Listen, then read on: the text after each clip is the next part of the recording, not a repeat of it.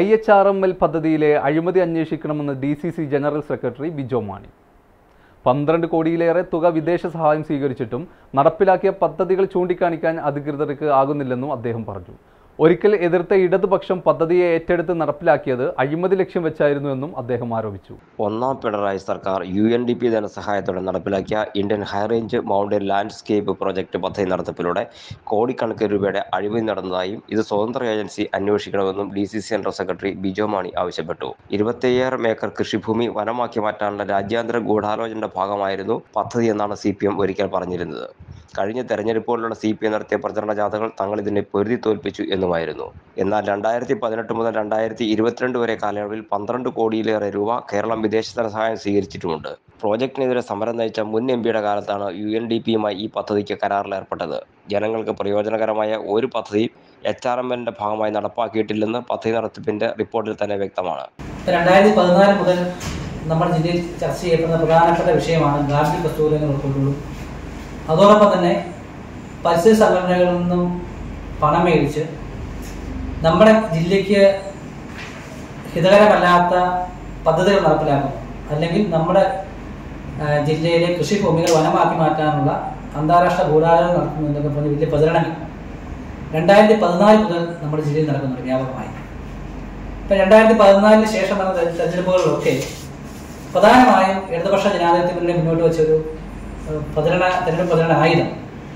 ഇരുപത്തി അയ്യായിരം ഏക്കർ കൃഷിഭൂമി വനഭൂമിയാക്കി മാറ്റാനുള്ള അന്താരാഷ്ട്ര ഗൂഢാലോചന നടക്കുന്നു. അതിന്റെ ഭാഗമായി എച്ച് ആർ എം എൽ എന്ന് പറയുന്ന പദ്ധതി നടപ്പിലാക്കാനായിട്ട് സർക്കാർ തീരുമാനിച്ചു. ഞങ്ങൾ അതിനെ ചെറുത്ത് തോൽപ്പിച്ചു എന്നുള്ളതായിരുന്നു സി പി എം രണ്ടായിരത്തി പതിനാലിലെ പാർലമെന്റ് തെരഞ്ഞെടുപ്പ് മുതൽ. ഈ കഴിഞ്ഞ നിയമസഭാ തെരഞ്ഞെടുപ്പ് വരെ പറഞ്ഞുകൊണ്ടിരുന്നൊരു കാര്യം. മുഖ്യമന്ത്രി ചെയർമാനായ നവകേരള കർമ്മപദ്ധതിയിൽ ഉൾപ്പെടുത്തിയിട്ടുണ്ട്. ഹരിത കേരളം മിഷൻ വഴിയായിരുന്നു പദ്ധതി നിർവഹണം. വനമേഖലയിൽ വനം വന്യജീവി വകുപ്പും വനമേഖലയ്ക്ക് പുറത്ത് തിരഞ്ഞെടുക്കപ്പെട്ട ടെക്നിക്കൽ ഏജൻസികളുമാണ് പദ്ധതി നടപ്പിലാക്കിയത്. പരിസ്ഥിതി പുനഃസ്ഥാപനത്തിലുള്ള പ്രോജക്റ്റുകളാണ് വനം വകുപ്പ് നടപ്പിലാക്കിയത്. മൂന്നാർ വൈൽഡ് ലൈഫ് ഡിവിഷന് കീഴിൽ ഷോല നാഷണൽ പാർക്കിലെ പഴന്തോട്ടമാണ് ഇതിനായി തെരഞ്ഞെടുത്തത്. രണ്ട് കോടിയിലേറെ രൂപ ചെലവഴിക്കുകയും ചെയ്തു.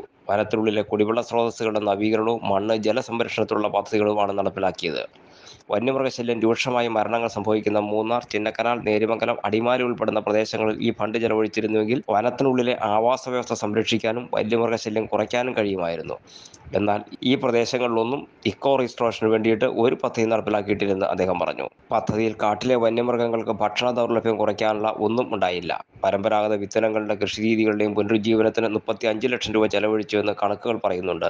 എന്നാൽ ഏതൊക്കെ വിത്തനങ്ങളാണ് ഇതിന്റെ ഭാഗമായി വികസിപ്പിച്ചതെന്ന് ഒരിടത്തും രേഖകൾ കാണാനില്ല. ഉത്തരവാദിത്ത ടൂറിസത്തിന് ഒരു കോടി അമ്പത്തിയഞ്ച് ലക്ഷം രൂപയും കാര്യശേഷി വികസനത്തിന് ഒരു കോടി അറുപത്തിയൊന്ന് ലക്ഷം രൂപയും ചെലവഴിച്ച കണക്കുകൾ പറയുന്നുണ്ട്. ഈ പഞ്ചായത്തുകളുടെ കാര്യശേഷി വികസിപ്പിക്കാൻ എന്താണ് ചെയ്തതെന്നോ ഉത്തരവാദിത്തം ടൂറിസം കൊണ്ട് എത്ര പേർക്ക് പ്രയോജനം കിട്ടിയെന്നോ വ്യക്തമല്ലെന്നും അദ്ദേഹം പറഞ്ഞു. ഇക്കാര്യത്തിൽ സുതാര്യമായ അന്വേഷണം വേണമെന്നും D C C general secretary ആവശ്യപ്പെട്ടു. എന്റെ കാഴ്ചയ്ക്ക് ചില ബുദ്ധിമുട്ടുകൾ അനുഭവപ്പെടാൻ തുടങ്ങിയത് ഈയിടെയാ. ആദ്യം ടെൻഷനായി. മകളാ പറഞ്ഞത് അഹല്യയിൽ പോകാൻ. അഹല്യയ്ക്ക് മുപ്പത് വർഷത്തെ പാരമ്പര്യവും വിശ്വസ്തതയുമുണ്ട്. അഹല്യയിലെ വിദഗ്ധരായ ഡോക്ടർമാരുടെ ചികിത്സ കൊണ്ട് എനിക്ക് എന്റെ കാഴ്ചശക്തി പൂർണമായും തിരിച്ചു കിട്ടി. ഇപ്പൊ എനിക്ക് ഈസിയായി വായിക്കാം. നേത്ര സംരക്ഷണത്തിന് നമ്മുടെ Ahalya. Ahalya foundation eye hospital കേരളത്തിൽ എല്ലായിടത്തും.